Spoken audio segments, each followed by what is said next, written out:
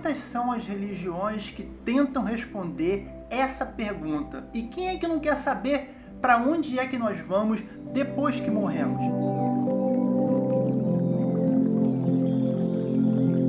Fechamos os olhos, acordamos aonde? Nós temos ali inúmeras virgens, nós vamos para um paraíso de chocolate, ou, caso você tenha feito muita maldade aqui na Terra, nós vamos para o inferno queimar no fogo eterno. Você vai ver agora um pequeno relato de o que acontece quando uma pessoa, eu estou considerando uma pessoa de bom caráter, ela falece.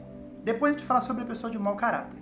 A pessoa de mau caráter, quando ela faleceu, dependendo do nível espiritual que ela esteja, uma, ou ela fica adormecida até que se haja uma dispensação temporal. O que seria isso? Seria quando todos os mortais que não estavam num nível de ressuscitar ao terceiro dia, eles ressuscitam todos de uma vez.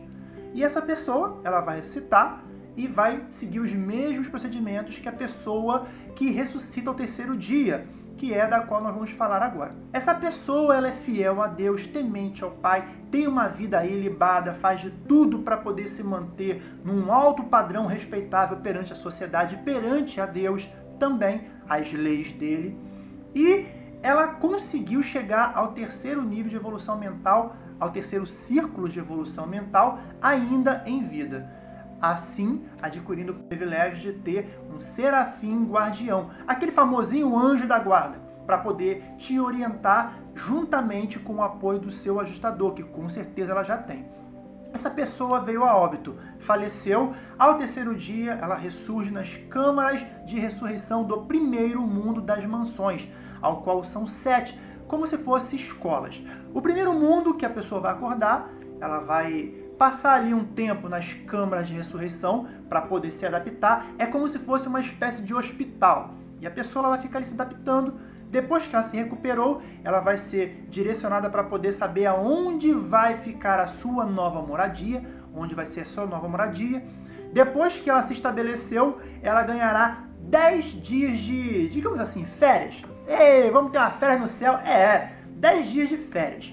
Nesses 10 dias você pode conhecer a vizinhança para poder saber como que funciona o, o, aquele novo meio de vida. Você pode consultar o seu registro de, de vida na Terra, porque às vezes não vem tudo. Claro, o ajustador ele traz muita coisa na sua mente, na mente dele no caso, né, que também é sua, e você pode recorrer às suas lembranças.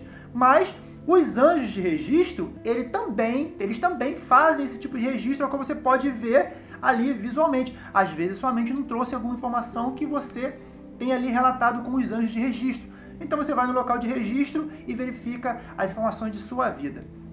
E também o que todos nós esperamos, ver entes e amigos que antecederam a nós na questão da morte. Pessoa, pais, mães, tios, amigos mais velhos que vieram a falecer antes de vocês e caso eles já tenham despertado, que estejam lá no mundo das mansões ou a, além do mundo, do mundo das mansões, você, nesses 10 dias, terá a oportunidade de mais uma vez rever os seus entes queridos antes de começar todo o trâmite que você, de aprendizado, que você terá que continuar, caso você escolha continuar.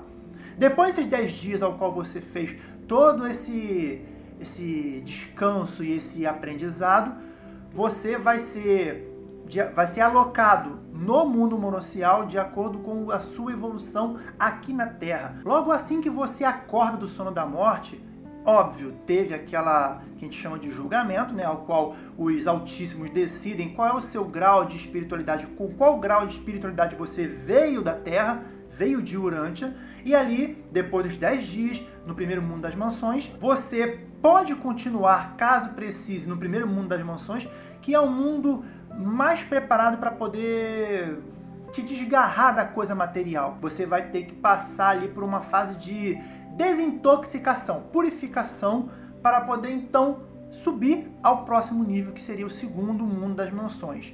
Agora, se você já chegou no nível elevado, se você já ao, ao acordar, você foi julgado que ah, o seu nível espiritual já estava razoavelmente elevado, você pode também, já depois dos 10 dias no primeiro mundo das mansões, partir direto para o segundo mundo, trocar de corpo, que você troca, cada vez que você vai galgando um degrau, seu corpo fica mais leve, digamos assim, né? Fica mais espiritual e menos carnal ou moroncial, que é o moroncial meio termo.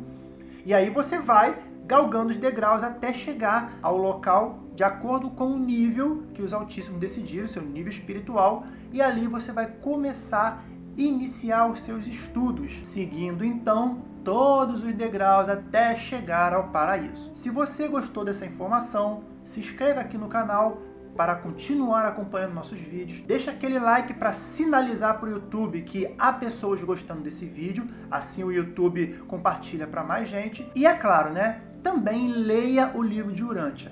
A minha opinião é minha opinião. O mais importante é que você leia o livro de Urântia para que você amplie ainda mais o seu nível espiritual e chegue lá não dando trabalho pro pessoal, né? Chega lá já para ajudar, em vez de chegar lá para dar trabalho, chega lá para ajudar a galera que tá lá, para não ter que ficar como aquela pessoa de ah, pobre coitadinho. Você teve tempo para estudar aqui, não estudou porque não quis, aí você vai chegar lá atrapalhando o povo. Então, já chega lá em cima com uma moral, chega lá em cima sabendo mais ou menos de como que é as coisas para poder adiantar o serviço seu e deles também. Um abraço, fique com Deus e até o próximo vídeo.